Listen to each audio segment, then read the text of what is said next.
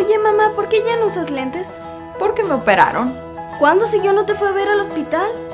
Es que todo fue tan rápido y estabas en la escuela. Oh, ¿Y no te dolió? Ni tantito me dolió. Y ahora que ya veo bien, vamos a poder dibujar juntas sin que me salga de la rayita.